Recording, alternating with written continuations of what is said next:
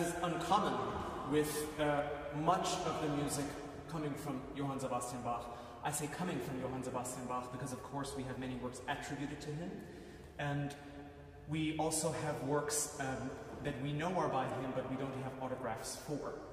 So, I say that the partitas come from Bach because, of course, he published them. And uh, he published them right here in Leipzig. He was working right here in the Thomaskirche uh, when in 1726 he began to publish the partitas. In fact, he didn't call them the partitas, he called them Klavierübung. Klavierübung um, bestehend in Präludien, Allemanden, Couranten, Sarabanden, Gigen und anderen Galanterien, other galanteries, um, which shows that Bach is trying to appeal to a relatively, uh, if you like, mm, common public. At least the people who could afford to buy such music and to play it at home. They would be hearing this kind of music in operas. Uh, in the few times they could have gone to Dresden for the ballet uh, and other places, and so they could have basically brought this music back home. And Bach publishes it for them. This idea of Bach as the esoteric composer is just not true. Bach publishes for people. Bach, Bach wants people to know who he is. And with Klavierübung, he also is announcing himself to the world. Now, what's particularly wonderful about this collection, uh, this is of course only the erste Teil, or the first collection of Klavierübung, which finally in 1731 Bach published all six of the partitas together. What's special about this is that the term Klavierübung comes also from Leipzig, um, beginning in 1689, when Johann Kuhnau, who was Bach's predecessor, again here at the Thomaskirche, uh, when he published his Klavierübung. Now, for those of you who are studying German like me, and who are suffering in studying it, uh, you say, ich muss mein Deutsch üben. Uh, üben is to practice. Uh, Klavierübung means keyboard practice, clavier practice. Of course, it could be played on the clavichord as well as on the harpsichord, and of course, there are so many beautiful performances on the piano. But uh, this idea of practice, is Bach being modest? Is he simply saying, this is to work out your fingers? As you notice, it does work out the fingers, but also um, there is the idea of spiritual practice. He says in this collection, he mentions Gemütsergötzung, which is this idea of refreshment or rehabilitation um, of, of the human soul, of, of, of your spiritual being. And so, what does Bach mean by this? Does he mean that if you practice, you'll be a better person? Maybe. Is he saying if you're disciplined, you'll be a better person? Maybe. Is he saying that if you listen to one another, if you listen to the instrument, if you listen to what the world is telling you, do you practice your spirit? Uh, this, of course, is not a new idea. Thomas Aquinas says this in his Summa Theologica, where he says solvitur ambulando, um, that it is solved by walking, uh, that life's problems are solved by doing and by existing and by practicing. And uh, I don't think it's far-fetched to say that. Of course, Bach is just resting back there, and he might get up and say, no, you Dummkopf. It has nothing to do with that. It's just keyboard practice. I'm happy always to be corrected by Bach, of all people. The next partita I'm going to play is the fourth partita from this series. You just heard the second one. I like to think that the second partita is sort of black granite. Uh, it's a very um, immense structure. In fact, it builds up to the very end. The fourth partita is a bit different. Of course, it opens with an overture. There is a French quality to this, there's no doubt about that. But also, um, the fourth partita is sort of more tiles and mosaics as opposed to the granite of the second partita. Um, it's in D major, which is a sunny key. Many of the people buying this collection would have been also sitting around this church and listening to the great feast days and to the cantatas and to the orchestras and to the Collegium Musicum outside in Leipzig. So again, a chance for them now to take, um, to take sort of outdoor or public music inside the house. And the emotional center of this, as opposed to building up toward the end, uh, in the fourth partita, it's difficult to say. It peaks twice. One is the Allemande, which must be the last great statement of the Allemande for the 18th century. There's really kind of nothing like it. Um, or it's the saraband. In any case, as is keeping with the tradition of Klavierübung, Bach keeps us plenty practiced otherwise, uh, even outside of these pieces.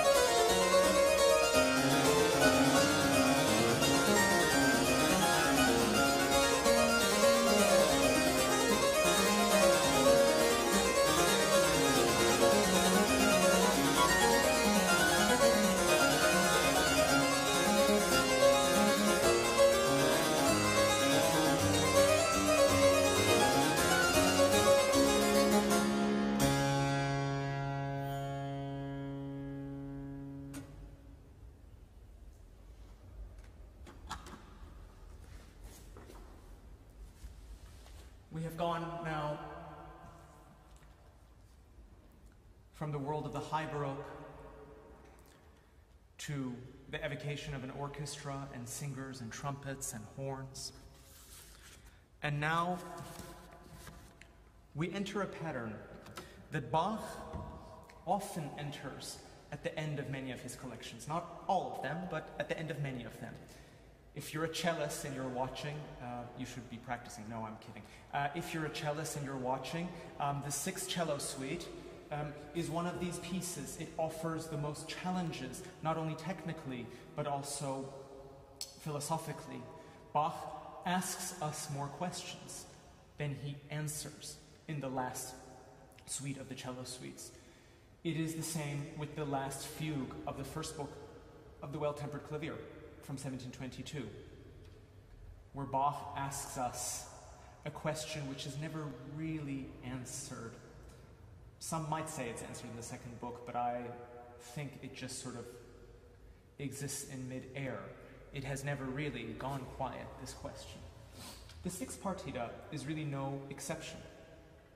As with the other partitas, Bach does put in titles to appeal to the frankly bourgeois customers of this music, the people who would have been buying it. He calls the first movement toccata, there's an air, um, there's a gavotte, there are pieces that seem light, but really this is anything but light. If we have gone through the 17th and 18th centuries in the first five partitas, then in the sixth one, Bach is inventing classical music. Bach is inventing galant and high classical music. The music of Emanuel Bach, the music of Beethoven, all starts, I think, with the sixth partita. It is the most innovative of them. And what Bach does at the end of this piece is to ask an unanswerable question, both with the meter of the piece. It's not clear whether the last movement is a duple meter or a triple meter. I won't tell you which one I've chosen. But also, even with the subject, with the theme, in fact, with the thematic material of the entire partita, Bach asks us a question. In the first chord alone, he has this falling semitone, this half step. The entire piece is based on this half step. And what Bach does at the end is he lights a match and he sets it on fire. He has said the last word in the Baroque suite for keyboard. And what does he do? He sets the whole palace on fire. The closest we can ever come to really understanding this music.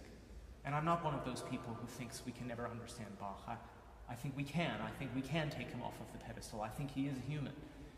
But the closest we can come as, as that palace is burning, we're on the boat that's getting farther from the island, and we smell the smoke and we see the flames.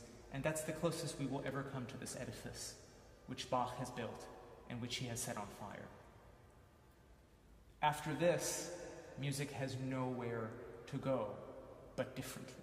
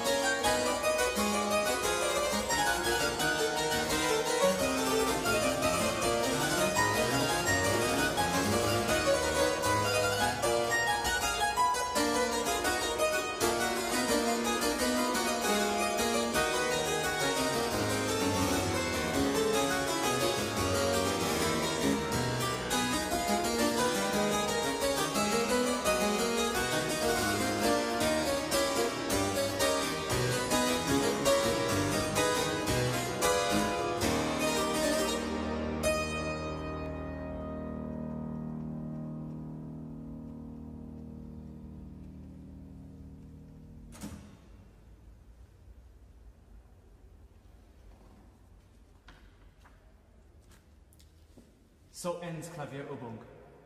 I should say, so ends the first part of Klavierübung.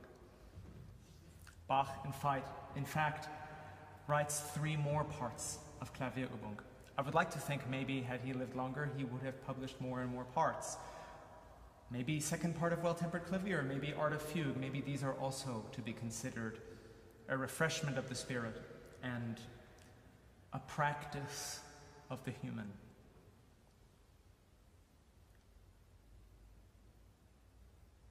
I think that if my career were to stop here, those who don't like my playing will be very happy to hear this at home. That if it were to stop, that probably the best thing I ever did was to play Bach in the Thomaskirche, close to where Bach is resting. I don't really think it gets any better than that in life. However, I would like to say there is a very great possibility that it might not be Bach in this grave. We're not supposed to say that in Leipzig, of course. I'll probably get in trouble for it, but it might be him, it might not be him. It doesn't really matter, actually, with Bach. Si, si monumentum requiris circumspice. That means that if you require a monument, look around you. If you're trained in music, if you love music, if you're watching tonight, if your life is somehow a little more beautiful with music, then that is Bach's monument. It doesn't really matter that his grave is here. It doesn't really matter in the sense that the city where he spent 27 years of his life exists. We are better for it. We are better for it because Bach shines light on everything else around him. He is a prism or a mirror through which we see everything else and everyone else. It is also an honor for me to be here where so many great harpsichordists have been before. In the second part of Klavierübung, Bach provides really only two pieces. One of them is an overture in the French style, which is a suite. Not quite the same kind of keyboard suite as the partitas, but nonetheless, his last, uh, his last comment, if you like, on the suite. And he publishes what I think is one of the greatest pieces, which he calls a concerto in the Italian style. How interesting, then, he should bring the world to us in this kind of music. Bach didn't really leave the part of Germany that he came from. The farthest he got was Hamburg, which would have been sort of New York to him at the time. He didn't go to France, he didn't go to Italy, he didn't go to Denmark or Bohemia or anywhere else, but he brought the world to us. It's very easy to think that because Bach didn't see the world, that he is smaller, or that his world is smaller. But actually, Bach's world is the biggest. His world that he shares with us is the biggest world. So I'd like to end tonight with my favorite movement from the second part of Klavierübung. If they'd let me, I would stay here and play all of Clavier Oboe, but I can't do that. So this is the Andante from the concerto in the Italian style.